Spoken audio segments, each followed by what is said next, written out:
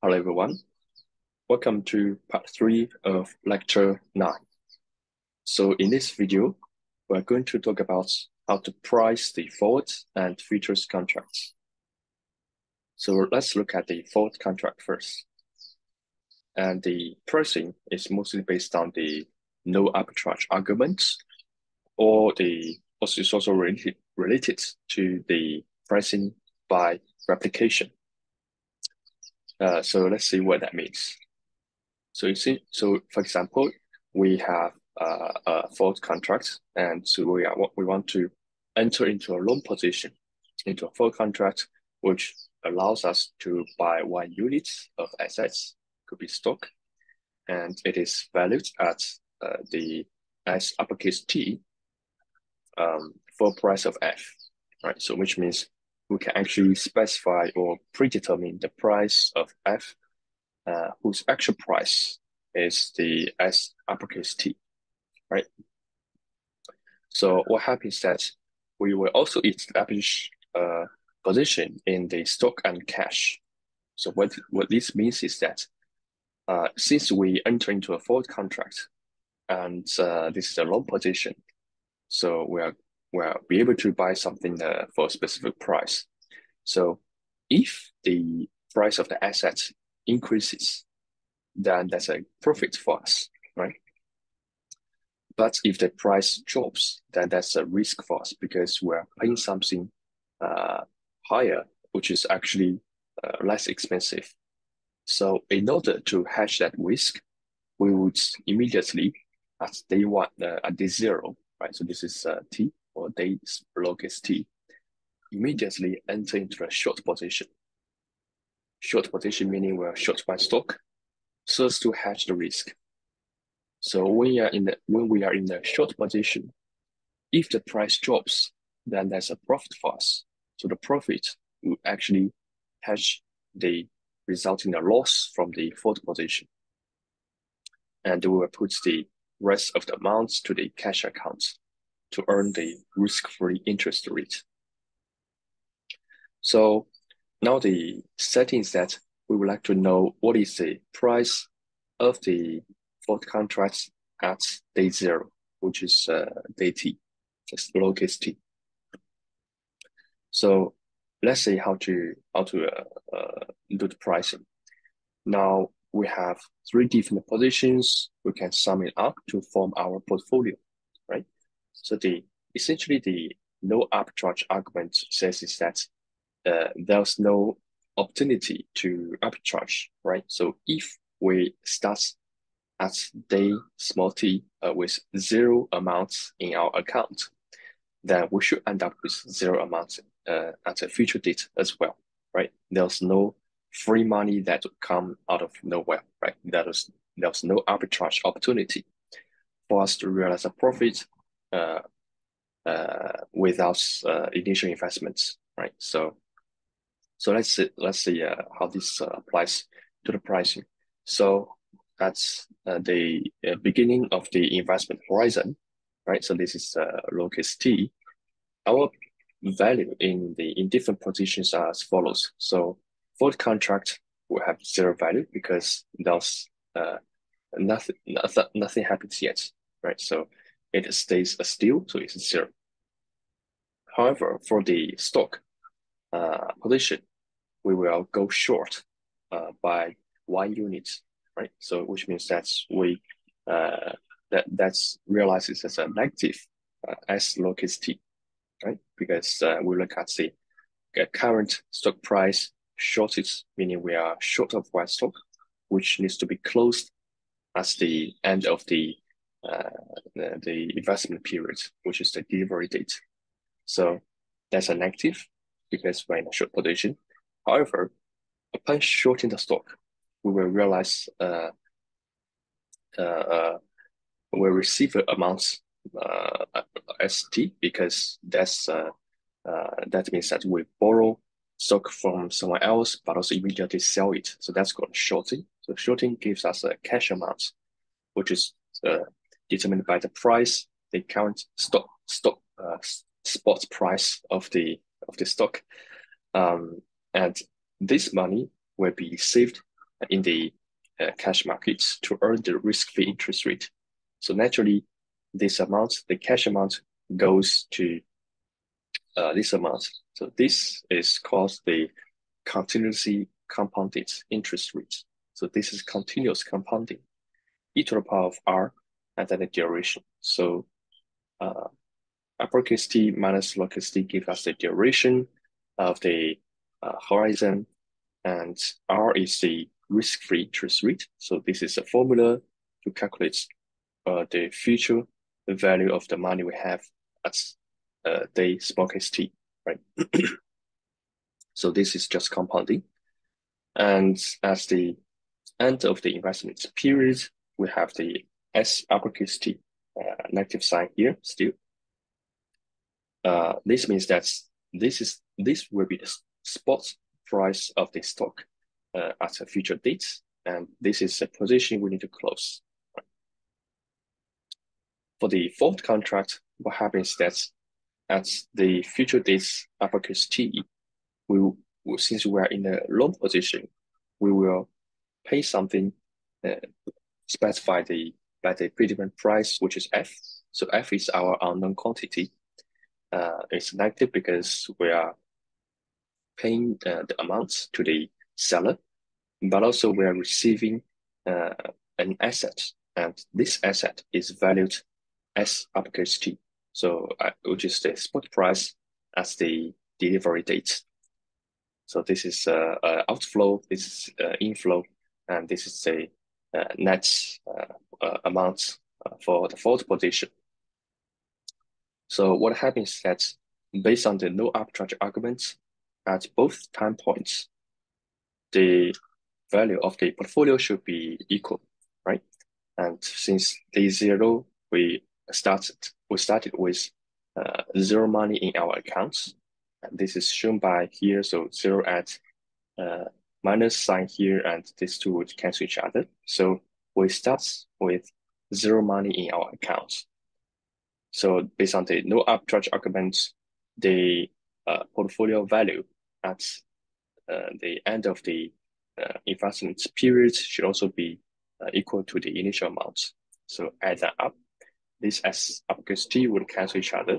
So we have negative F plus the continuously compounded uh, stock price.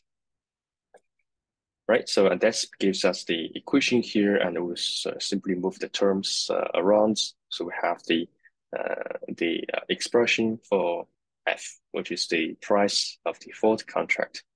So this gives us the uh, price for the forward contract uh, given the given this particular uh, horizon investment period here.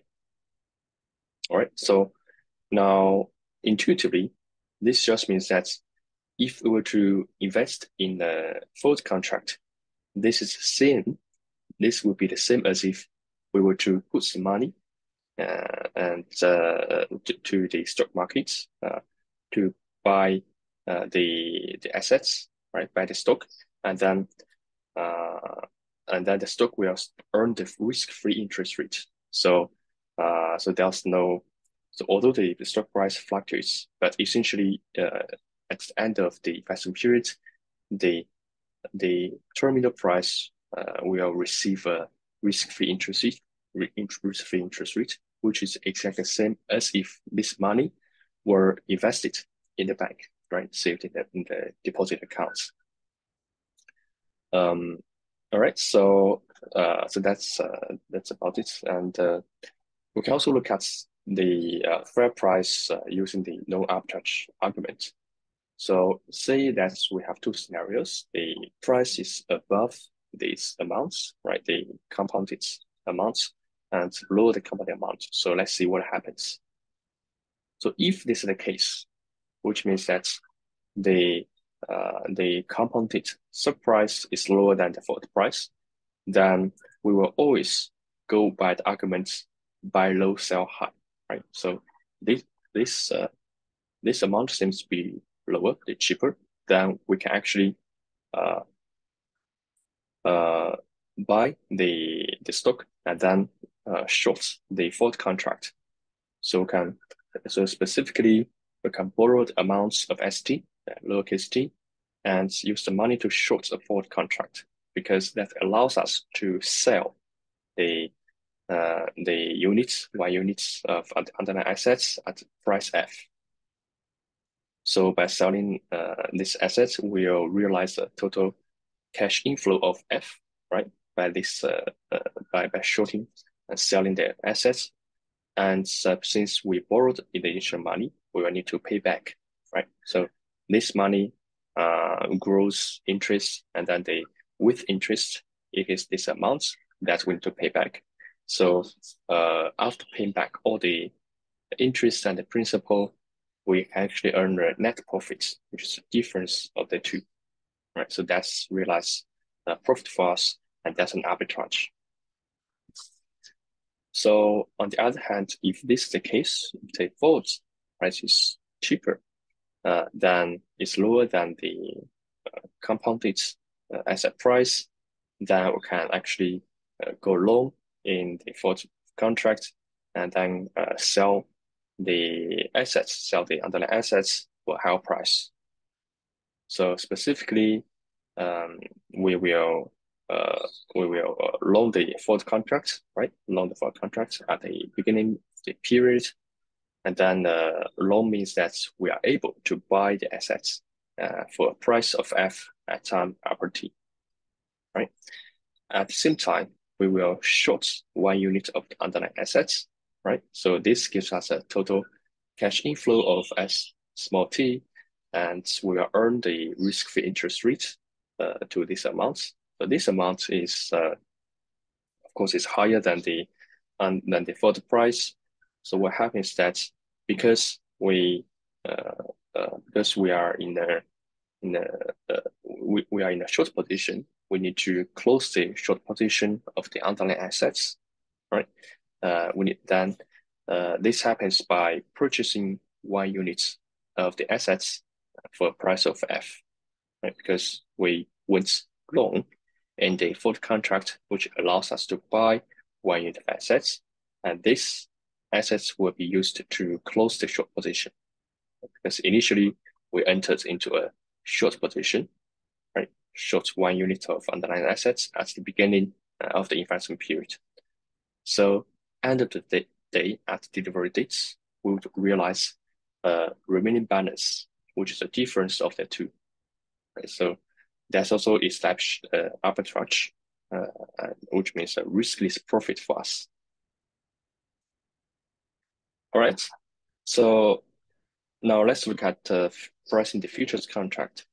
So this formula here uh, uh, uh, is about annual compounding. So it's another form of compounding, uh, but it's just for illustration. So here we have the price of the the spot price of the underlying assets, and these are the so uh, so if you were to price the forward contract, then these terms will go away, right? Using the annual compounding. Um, but then we have actual terms here.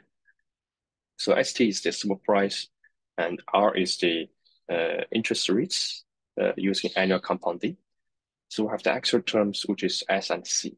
So S means the uh, annually compounded storage rate, uh, storage cost, right? Could be 1%, 2%.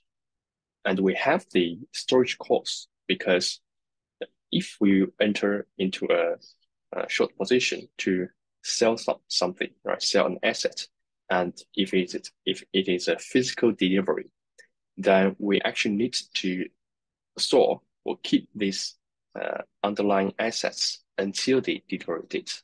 For example, it could be uh, 100 barrels of oil, right? Then we need to store these 100 barrels uh, in our yard uh, or in a warehouse, and we need to pay the storage fee. Right. So this is the cost that actually needs to be added to the price of the futures contract. Now we also have the uh, convenience yield. So C stands for the convenience yield. It is also uh, annually compounded. So this is minus sign, which is because now, uh, uh, so this is additional interest earned by holding the assets. So for example, it could be uh, the uh, uh, uh, if the the world is uh, in short needs uh, in in in uh, in uh, in a bigger demand for uh, oil consumption, then the price of the the oil will increase, right? So that gives us convenience yield. So the assets you are holding is becoming more valuable, right? So that's a gain for you. That's a profit for you. So so that means uh, you need to minus it off from the the price you need to pay. Right. So we again we have here the duration uh, on a yearly basis. So means this term will needs to be analyzed uh, because all the terms are using annual compounding. All right, so that's it for this video and uh, thanks for watching.